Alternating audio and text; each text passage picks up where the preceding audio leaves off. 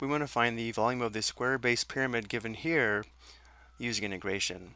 We could use the basic volume formula for a pyramid given here, where the volume is equal to one-third times area of the base times the height.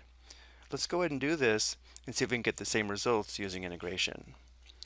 So using the basic volume formula, we'd have the volume of the pyramid is equal to one-third times the area of the base. Notice how the base is a 6 by 6 square, and therefore the area of the base would be 36 times the height, which we can see would be 10. Well, one third times 36 is 12. 12 times 10 equals 120. So the volume is 120 cubic units. Let's see if we can get the same results using integration. Notice how if we cut slices or cross sections of the pyramid, they're perpendicular to the y-axis, and therefore we can find the volume using this integral here, where the volume is equal to the integral of a of y integrate with respect to y from a to b. Again, we'll integrate with respect to y because the cross sections are perpendicular to the y-axis and the thickness of each slice would be delta y. So we'll begin by determining the approximate volume of a slice and then we'll use this information to set up our integral. To find the approximate volume of this slice here, we'll find the area of the face, then multiply by the thickness, which again is delta y. So the tricky part about this question is how to determine the area of the face as a function of y. We know that the face is a square, and therefore the area is equal to s squared, or this length times this length.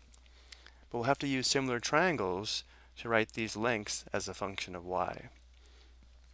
Let's do this on the next slide. If we cut the pyramid vertically, this would be our slice, and notice how we have two similar triangles. We have this large triangle that has a base of 6 units and a height of 10 units, and then we have this smaller triangle here that's similar to the larger triangle, where the base has length s, but for the height of the smaller triangle, if we know the total length here is 10 units, and we let this be y units, notice how the height of the small triangle would be 10 units minus y units, or just 10 minus y. And because we have similar triangles, we can now set up a proportion to write s in terms of y. Remember, when we have similar triangles, corresponding sides are proportional, so s is to 6 as 10 minus y is to 10.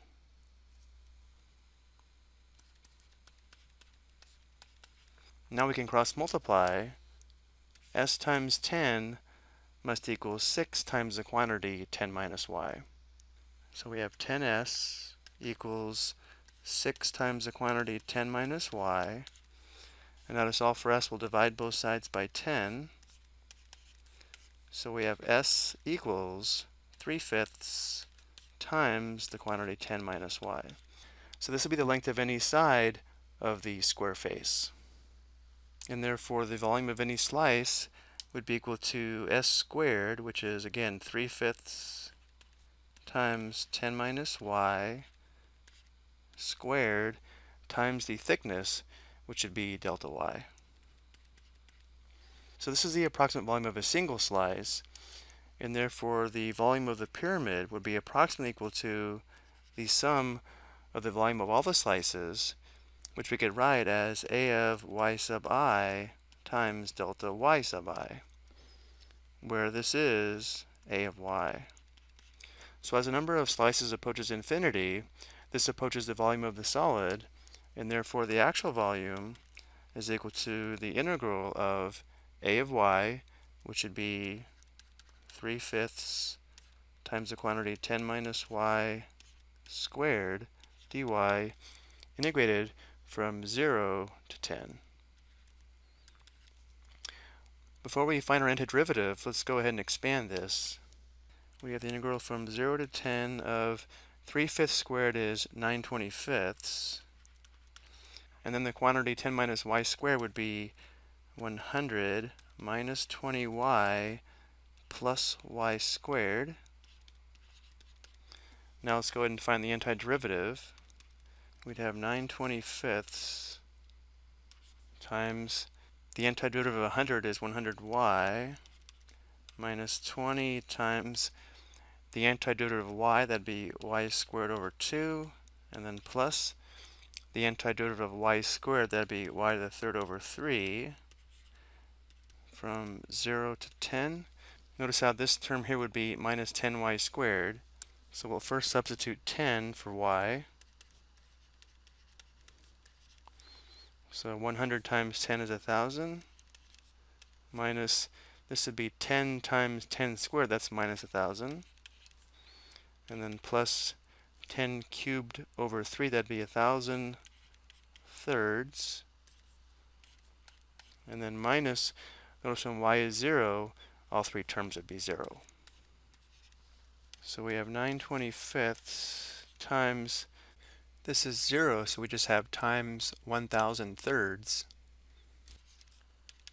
Notice how this simplifies nicely. There's 1 3 and 3, and 3 3s and 9. And there's 125 and 25, and there's 40 25s and 1,000. We have 3 times 40, which equals 120 which of course gives us the same volume as the volume formula for a pyramid. So this is 120 cubic units.